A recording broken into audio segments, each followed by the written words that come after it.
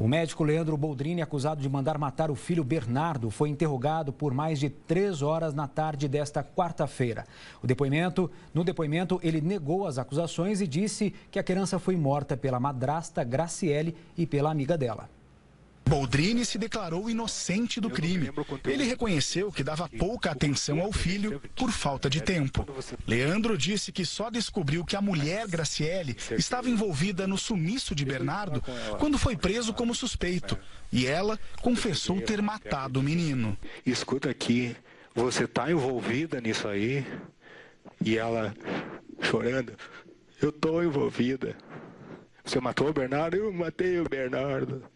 Vocês vão ver quem é que assassinou, quem é que planejou assassinar a morte do meu filho. E eu digo para vocês quem foi. Foi a Graciela e foi a Edelvânia. Eu não mandei matar meu filho. Por orientação do advogado, Leandro não respondeu a uma série de questões feitas pela acusação. Ao fim de cada pergunta, havia silêncio no tribunal. Com relação àquela briga que nós ouvimos no quarto, onde o Bernardo grita por socorro, socorro, socorro, socorro, de quem foi a ideia de fazer a gravação?